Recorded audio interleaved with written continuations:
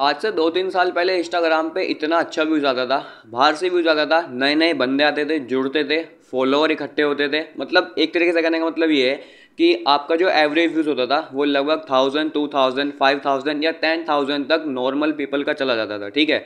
अब तो केवल व्यूज़ उसका आ रहा है, जिसके पहले से फॉलोअर अच्छे खासे हैं, या तो किसी के पचास हज़ार, एक लाख, इस तरीके से हैं तो उनका ठीक ठाक व्यूज़ आ रहा है। लेकिन अभी के टाइम में 2023 में, अभी करंट के टाइम में अगर आप कोई न्यू अकाउंट बना रहे हो, या फिर अपने दोस्त का अकाउंट बना रहे हो, या फिर अपने दोस्त का अकाउंट देख रहे हो, किसी रिलेटिव का देख रहे हो तो भाई सबका एक ही हाल है। कोई व्यूज़ नहीं आ रहा, बाहर से कुछ रेस्पॉन्स ही नहीं आ रहा, है ना? किसी की रीच बढ़ ही नहीं रही। मतलब अगर आप न्यू अकाउंट भी अभी एकदम क्रिएट करो ना, मेरी वीडियो चलते चलते ही, और अभी एक पोस्ट या फिर रील अपलोड करो तो ज़ीरो व्यूज़ देखने को मिलेगा, लेकिन दो तीन साल पहले ऐसा नहीं था, है ना? तो इसी चीज़ को सुधारने के लिए ना, मैं आपको तीन चीज़ें बताऊँगा, जिनको यूज़ करके ना, आपको 2023 में अभी करंट में अगर न्यू अकाउंट भी बनाओगे ना तो भी कोई दिक्कत नहीं है। पुराना अकाउंट है तो भी कोई प्रॉब्लम नहीं है। आपको दोनों पे, बाहर से व्यूज़ देखने को मिलेगा, आपको बाहर से काफ़ी अच्छी मात्रा में रीच मिल जाएगी।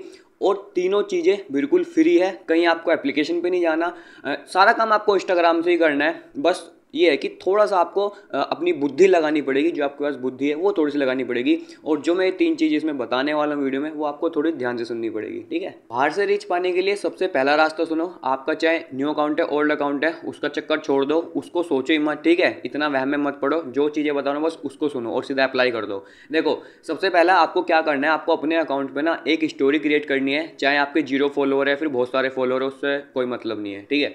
तो आपने जब स्टोरी क्रिएट कर ली तो स्टोरी क्रिएट करने के बाद में आपको कोई भी पॉपुलर लोकेशन अपनी स्टोरी में ऐड कर लेनी है। आप साइड में एक बार वीडियो देखो। मैंने अभी दिल्ली गया था दिल्ली में नेहरू प्लेस गया था कुछ सामान खरीदना था। तो मैंने ना वहाँ की एक वीडियो बनाई छोटी सी वैसी और उसको स्टोरी पर अपलोड कर दिया। स्टोरी पर अपलोड करते वक्त मैंने ना यहाँ पे नेहरू प्लेस की लोकेशन को ऐड कर दिया आप देख सकते हो।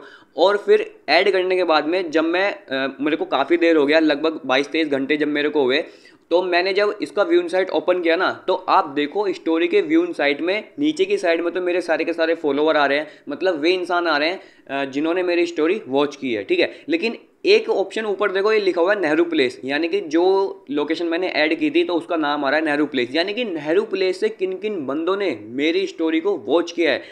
उस स्टोरी सॉरी उस लोकेशन की वजह से मेरी स्टोरी को किस किस ने वॉच किया है? उन बंदों की संख्या लिखी हुई है, लगभग बीस है. अब तो शायद पच्चीस होगी होगी, ठीक है? ये स्क्रीन वीडियो मैंने पहले बना ली थी. तो बीस यहाँ पे लिखी हुई है. तो ये जो बीस बंदे हैं ना ये जो 18 से 20 बंदे मेरे पास नेहरू प्लेस की स्टोरी से आए हैं तो ये बिल्कुल अलग है। इन्होंने मेरे को फॉलो नहीं कर रखा, लेकिन आप देखो, इन्होंने मेरी स्टोरी देखी है, और किसकी वजह से?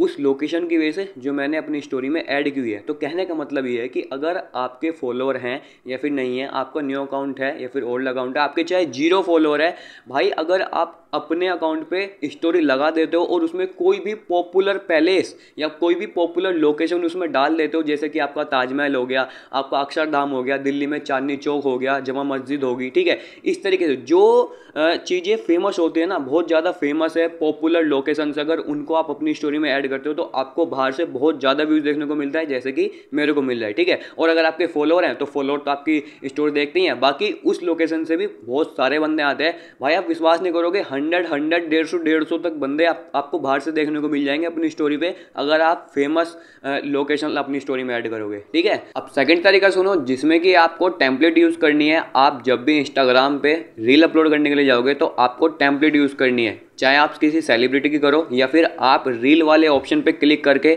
साइड में टेम्पलेट का ऑप्शन आता है, किसी के साइड में आएगा या फिर किसी का ऊपर आ सकता है। साइड में देख सकते हो वीडियो चल रही है, ठीक है? तो इस तरीके से आप रील पे क्लिक करके टेम्पलेट को यूज़ कर सकते हो। जैसे ही आप टेम्पलेट पर क्लिक करोगे ना तो वो आपसे, आपकी कुछ फ़ोटो वीडियोज़ मांगेगा। मतलब कहने का ये है कि टेम्पलेट को यूज़ करके ना, आप सीधे इंस्टाग्राम पे एक रील क्रिएट कर सकते हो और उसको अपने अकाउंट पर अपलोड कर सकते हो। आपको ना एडिटिंग करने की ज़रूरत है, ना ही आपको कोई भी ट्रेंडिंग सॉन्ग फाइंड फाइंड करने की ज़रूरत है, ना ही कोई फ़िल्टर लगाने की ज़रूरत है और ना ही कोई ऐसी खास वीडियो बनाने की ज़रूरत है, ठीक है?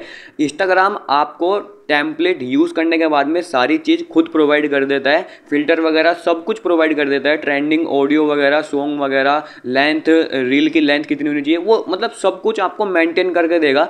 आपको बस यूज़ टेम्पलेट पे क्लिक करके और अपनी गैलरी में से वीडियोस वगैरह उसमें पुस्ट करनी है, यानी इंपोर्ट करनी है एंड उसके बाद में एक्सपोर्ट कर देना है। इंस्टाग्राम आपको एक रील बना के दे देगा, फिर आप उसे अपलोड करना अपने इंस्टाग्राम अकाउंट पे तो आपको बहुत अच्छा व्यूज़ देखने को मिलेगा। मैं यूज़ टेम्पलेट को यूज़ करने के लिए इसलिए बोल रहा हूँ क्योंकि इससे आपको बहुत अच्छा व्यूज़ देखने को मिलेगा। ये सेम उस ऑप्शन की तरह है, जैसे कि आपका इंस्टाग्राम में एक रिमिक्स ऑप्शन आया था ना दो तीन साल पहले एक चला था रिमिक्स ऑप्शन किसी की रील को रिमिक्स करके अपने अकाउंट पर डालो तो आपको व्यूज़ देखने को मिलता है। तो सेम उसी की तरह मान सकते हो, आपको इससे ईजिली न्यू अकाउंट पे या ओल्ड अकाउंट पे दोनों पे आपको थाउज़ेंड से ज़्यादा व्यूज़ मिल जाएगा। ये मैंने खुद यूज़ किया हुआ है और अगर इसके ऊपर पूरी वीडियो चाहिए तो आई बटन पर क्लिक कर लो। मैंने टैंपलेट के ऊपर वीडियो डाली हुई है, लेकिन फ़िलहाल तो आप इतना समझ लो कि आप जब भी रील अपलोड करो तो कोशिश करो कि आप यूज़ टेम्पलेट पे क्लिक करके तब एक रील बनाओ एंड देन उसको इंस्टाग्राम पे अपलोड करो तो आपको बाहर से बहुत अच्छा व्यू देखने को मिलेगा रीच बढ़ेगी, इससे आपका इंस्टाग्राम अकाउंट ग्रो होगा, ठीक है? अब थर्ड चीज़ में आपको क्या करना है, आपको अपने अकाउंट पर रील अपलोड करते वक्त ना रिकमेंडेड ऑन फेसबुक वाला जो बटन होता है, इसको ऑन रखना है।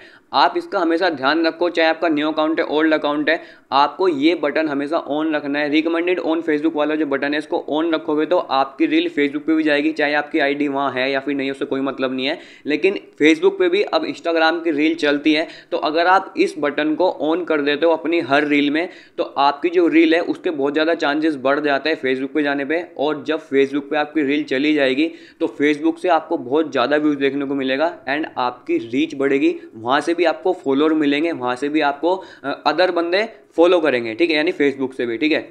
इंस्टाग्राम से तो करेंगे ही, लेकिन जब आप ये वाला ऑप्शन ओपन कर दोगे ना रिकमेंडेड ऑन फेसबुक वाला तो आपकी जो रील है आपने अपलोड की है, वो फेसबुक पे रिकमेंड होगी, वहाँ से व्यूज़ आएगा रीच बढ़ेगी और आपका इंस्टाग्राम अकाउंट ग्रो होगा, ठीक है? तो ये तीन तरीके जो मैंने बताए, इनको ला के देखो दोस्तों 2023 में आपको बाहर से रेस्पॉन्स हंड्रेड परसेंट देखने को मिलेगा और आपका अकाउंट आपका अकाउंट तीस दिन में हंड्रेड परसेंट ग्रो होगा, ठीक है?